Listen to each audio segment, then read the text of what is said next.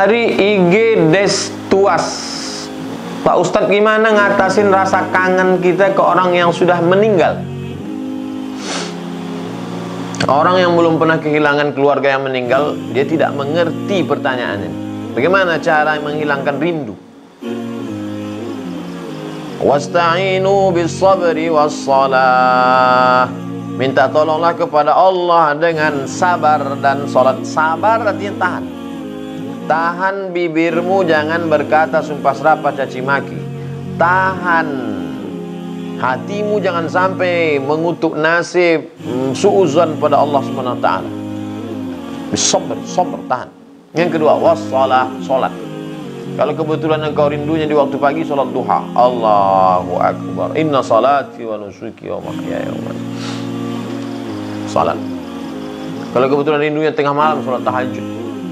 Tiga, baca Al-Quran. Baca Al-Quran. Wa idza Al-Quran kalau Al-Quran dibacakan fastami'u lahu dengar baik-baik wa ansitu diamlah lakum turhamun turun rahmat ke dalam hatimu. Walladzi anzala sakinata mendengar aja dapat apalagi membaca. Walladzi anzala sakinata Allah yang menurunkan ketenangan fi qulubil mu'minin. Hatimu yang sedang rindu gundah gulana maka ditenangkan Allah. Siapa yang menenangkannya? Yang keempat zikir. Subhanallah bihamdi subhanallahil azim subhanallah bihamdi subhanallahil azim afdalu zikri fa'lam annahu la ilaha illallah la ilaha illallah la ilaha ala bi dzikrillah tatma'innul qulub. Yang kelima sedekah. Pergi kamu saudaraku pergi ke panti asuhan bawa nasi bungkus sedekah. Pahalanya sampai untuk orang-orang yang kita rindukan ayah, ibu, keluarga.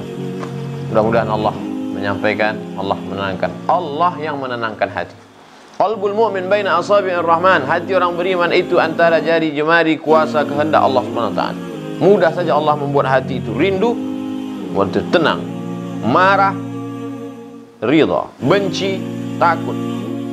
Minta ya muqallibal qulub wahai engkau yang membolak-balikkan hati sabit qalbi kokohkan hatiku ala dinik dalam agama wa ala ta'atik dalam ketaatan padamu wallahu a'lam